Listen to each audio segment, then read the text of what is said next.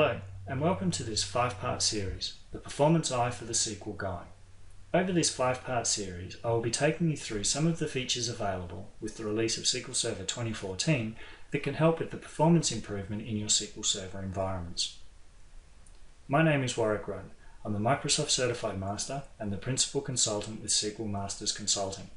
You can read more about me from this slide yourself. Over the next five sessions, I'll be taking you through the following six features. In this first session, we're going to be having a look at the buffer pool extension. So let's get started.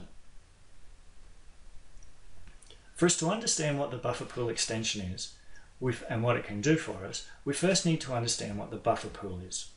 In its simplest terms, the buffer pool, or the buffer cache, is the portion of your server memory that is holding your data and index pages to improve the performance by reducing the amount of disk I.O. activity. The size of your buffer pool is dependent on a couple of factors.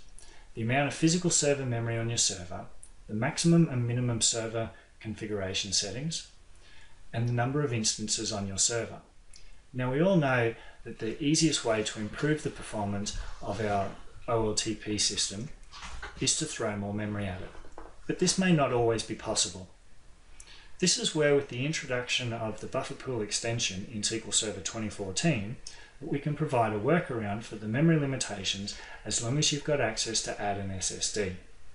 In the upcoming demo, we will see how we can enable and use this feature. Once it is enabled, the Buffer Manager is able to use both the available memory and the buffer pool extension on your SSD to provide a tiered approach to caching. Your extension provides a larger buffer pool of lukewarm clean pages. Because only clean pages, or pages that are being read, are placed into the extension, this ensures you will not lose any data in the event of a disk crash or any other cause of a server restart. Just like in previous versions of SQL Server, the Buffer Manager handles the movement of pages in and out of the cache and now between the cache and the extension and out of the extension in the event of any server pressure. Having the extension and depending on the utilization of your data, the movement of large portions of read-only data out of your buffer pool allows for larger amounts of volatile pages to reside in the buffer pool, leading to improvements in performance. The minimum size of your buffer pool extension file must always be larger than the max server memory value of your instance. Or if you've already got the buffer pool extension configured and you're wanting to change it, larger than the current configuration size. Ideally, you would want to look at a ratio of 1 to 4, 1 to 8, or 1 to 16 of your max server memory configuration. So if your max server configuration setting is currently 16 gig, then you would look at having an extension to the size of 64, 128, or 256 gig. Now we can see here on this slide the benefits that can be achieved from utilizing the buffer pool extension. The top three are all about gaining that tiered approach and having more memory available for our volatile pages. The one that I really like is the last one that we can see down the bottom, which is around that the buffer pool extension is configurable with failover clustered instances. So as long as you've got the ability to add an SSD to each of the nodes on your uh, failover cluster, you can utilize this feature. Like any new feature, we always need to be able to monitor what's going on or have a look at the configuration of what's been set up. So there's been a new DMV created that is available for us. This is called SysDM OS Buffer Pool Extension Configuration, where we can see what has been configured and how it's uh, what its sizes are. For those of us who use the extended events, there are four new extended events for us to monitor what's going on. We can have a look at the pages written, the pages read, the pages evicted, and the eviction thresholds recalculated. Alternatively from the extended events, we can still use performance counters, and there are eight new performance counters available in the Buffer Manager performance object. So let's now go and have a quick look at a demo.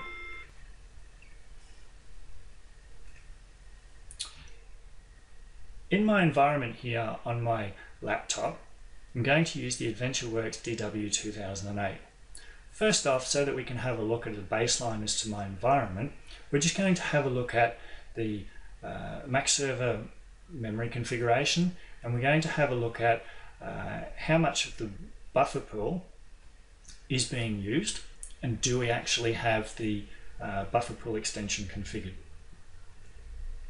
So we can see here that my max server memory is set at 1 gig.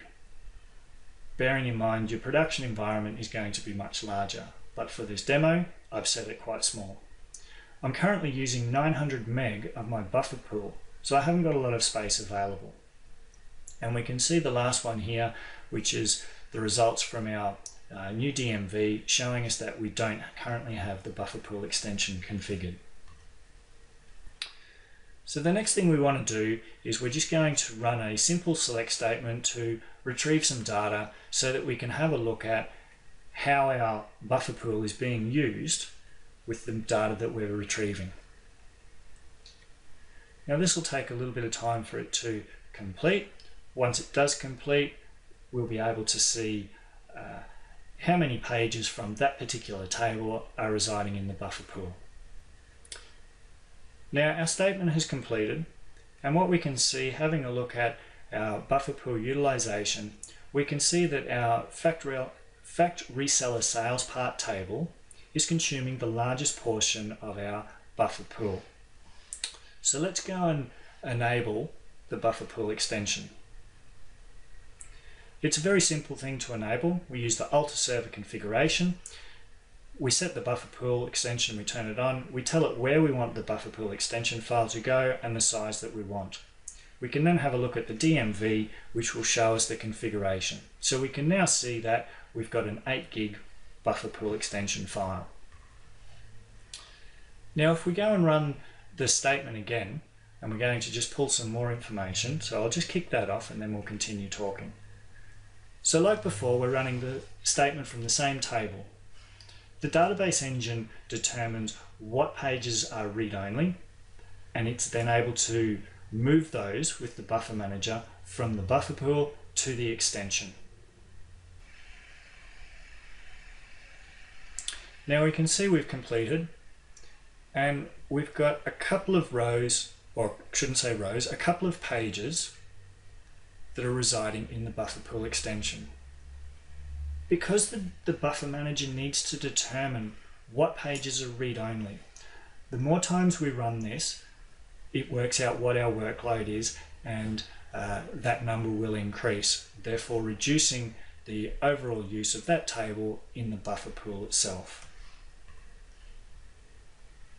Now, one of the things that you probably will want to do is increase the size of it.